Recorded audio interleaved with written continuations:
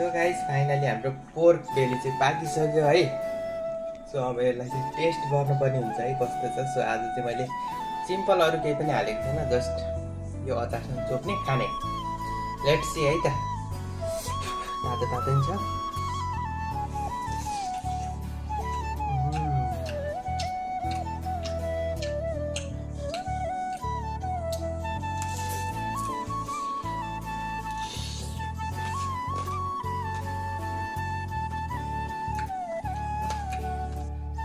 बच्चामा यसरी खान्थ्यो।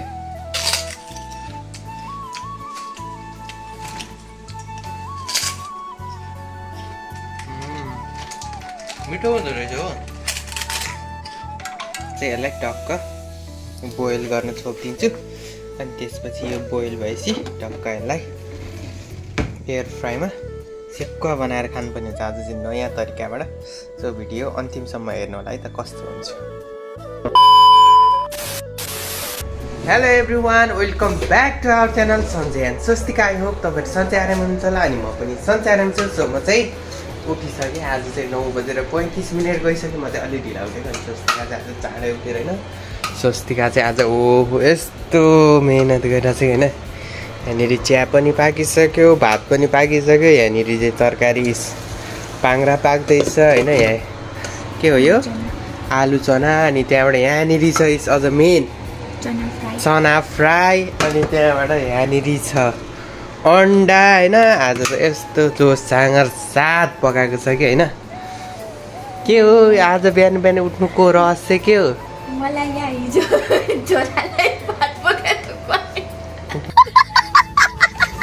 ओ हिजो भर्खर मैले आमालाई कम्प्लेन गरेको थिएँ। आमालाई होइन? बालाई। हो आमालाई अनि त्यहाँबाट बालाई। फुपू दिदीलाई कम्प्लेन गरिदिएको थिएँ आज त जोस छाँगर साथ।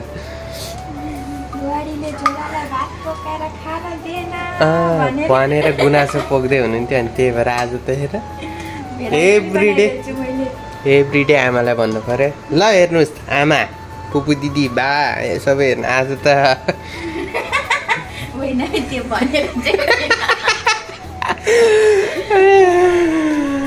यस्तो हुन्छ अनि त्यहाँबाट। सो अब अहिले सर्वप्रथम चाहिँ चिया चना अन्डा खानुपर्ने हुन्छ। अनि त्यसपछि खाना खाएर हामी चाहिँ ड्युटी जानुपर्ने हुन्छ। अनि आजको मौसम चाहिँ कस्तो पानी पर्ला जस्तो भइरहेछ। सो म तपाईँहरूलाई देखाउँछु है त बाहिरको के भन्छ अरे त्यो बाहिरको? बाहिरको मौसम कस्तो छ भनेर। अनि त्यहाँबाट हिजो नि बबाल पानी परेको थियो। त्यो पानी चाहिँ खत्रै खतरा परिरहेको छ। धेरै नै भइसक्यो। अनि यहाँनिर देख्न सक्नुहुन्छ लोखर्केले चाहिँ यो हाम्रो ऊ के यसरी ढालिदिएर हुन्छ। अनि त्यहाँबाट देख्न सक्नुहुन्छ त पुरै हरियो भइरहेको छ अनि चराहरू नि कराइरहेको छ। घाम लागिरहेको छैन। सर चिसा हावा छ। यस्तो छ। लेट चाहिँ के हुन्छ आजको मौसम। सो गाइस फाइनली हाम्रो ब्रेकफास्ट चाहिँ रेडी भइसक्यो है। दामी भएको छ ब्रेकफास्ट आज चाहिँ होइन स्पेसल ब्रेकफास्ट चाहिँ स्वस्तिकाले बनाएको छ अनि यहाँनिर चिया छ। अनि स्वस्तिकाको ब्रेकफास्ट यहाँनिर छ होइन? स्वस्तिका लास्टै हँसाउँछ है।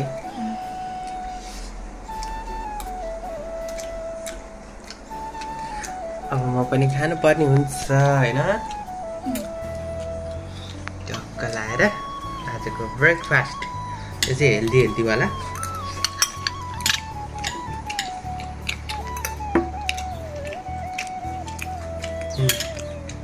मिठो बना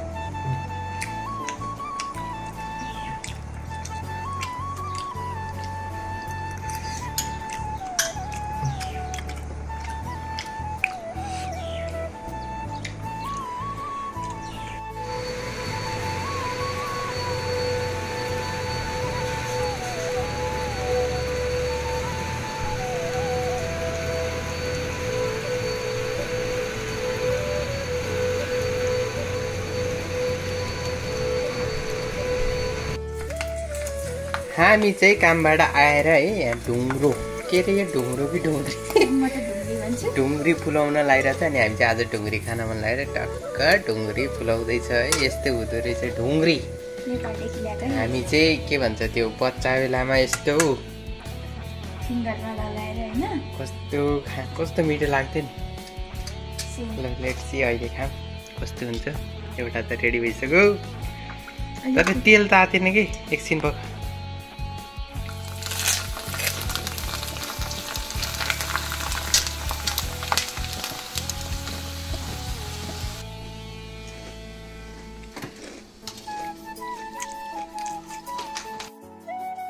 यसरी खान्थ्यो।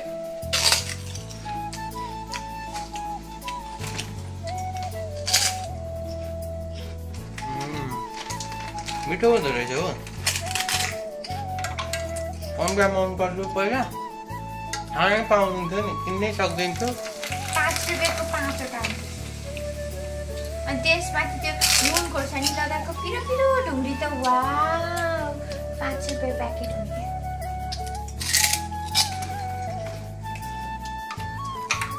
के भन्छ यो? तपाईँहरू सानसानो हुँदाखेरि ककरले यो खान मन लाग्दा लाग्दा किनेर खान नसक्नु भएको छ कमेन्ट गरिदिनु होला। तपाईँहरू पनि यस्तो स्टोरी होला है? हामीले पनि कति होइन? हामीले पनि कति यस्तो कुराहरू किनेर खान पाएको थिएन। अहिले त एकदमै मिठो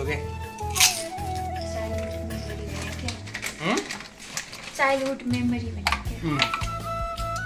त्यो मस्त फुलिरहेको छ। यो चाहिँ भाँडा अलिक सानो भएछ। त्यहाँनिर चाहिँ त्यत्रो भइसक्यो। अब पुग्न पुग्न लागिसक्यो धेरै खान सक्दैनौँ हामी। सो गाइज मसँग चाहिँ आज छ पोर्क बेली है। सो आज चाहिँ म पोर्क बेली बोइल गरेर पुरै यसको सेक्का बनाउनु लागिरहेको छु। एयर फ्राईमा सो आज चाहिँ म फर्स्ट फर्स्ट के भन्छ यो नयाँ स्टाइलले पोर्क बनाउनु लागिरहेको छु सो सर्वप्रथम चाहिँ म यसलाई बोइल गर्नलाई यहाँ हालिदिन्छु अनि त्यसपछि यसमा चाहिँ म चाहिँ बेसार पनि हालिदिन्छु अनि नुन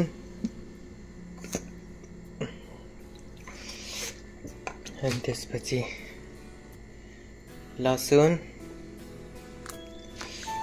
अनि त्यसपछि कागती।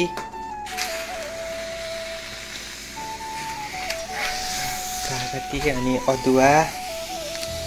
अनि त्यसपछि अदुवा छ अनि त्यहाँबाट अलिकति।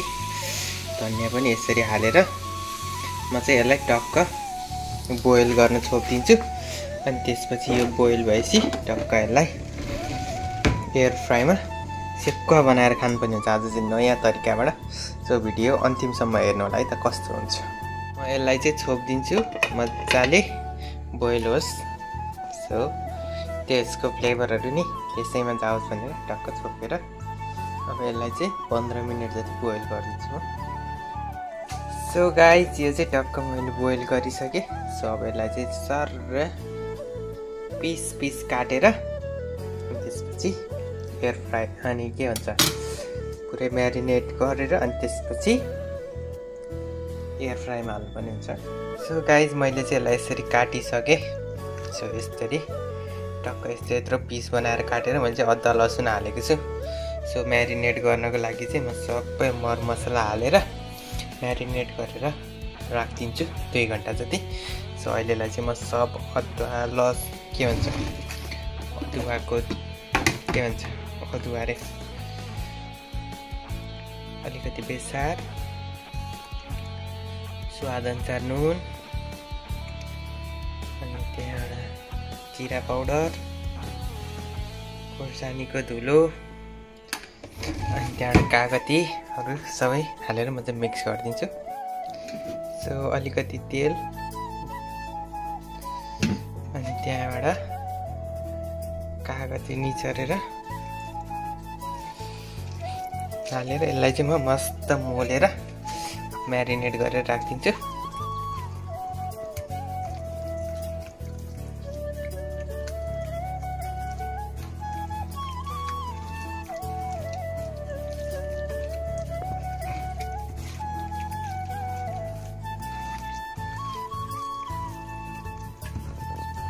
मैले चाहिँ मजाले मोल दिइसकेँ सो अब म चाहिँ दुई यसलाई चाहिँ दुई घन्टा जति म्यारिनेट गरेर राखिदिन्छु है त। सो गाइज होइन? म्यारिनेट गरेको चाहिँ दुई घन्टा पनि भइसक्यो। अब यसमा चाहिँ एयर फ्राईमा टक्क लाएर यसलाई चाहिँ हालिदिन्छु। सो यसलाई चाहिँ केमा हालिदिने भने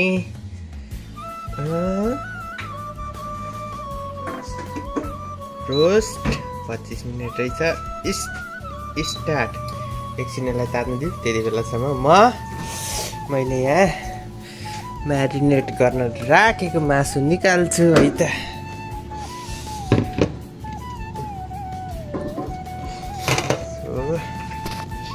सक्नुहुन्छ मसलाहरू। मस्त लागिसकेको छ। यसलाई चाहिँ टक्क एयर फ्राईमा हाल्नुपर्ने हुन्छ।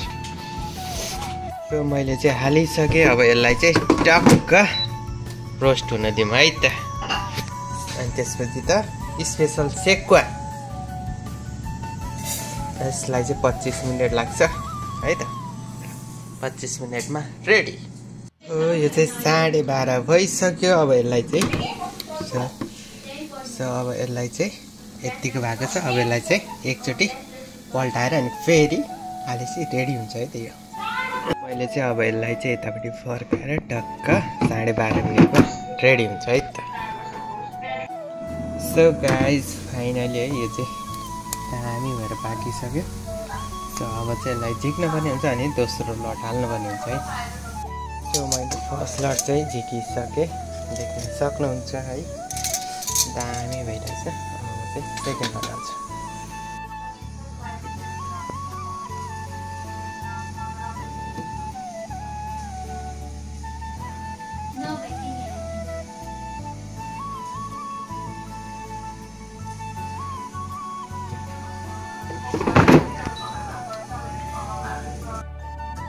सो गाइस फाइनली हाम्रो पोर्क बेली चाहिँ पाकिसक्यो है।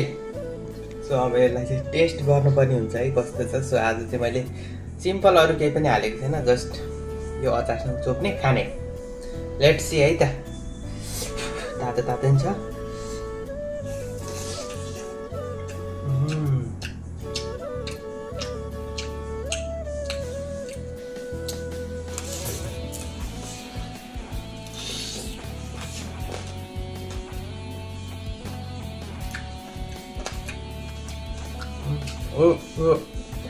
छालावाला कस्तो जुसी हुँदो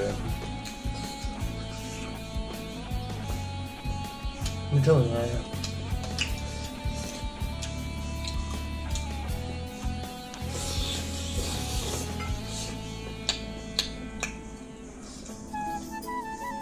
जानु भएको छ अहिले चाहिँ म आरामले खान्छु तपाईँहरूले पनि यसरी बनाएर खानु है त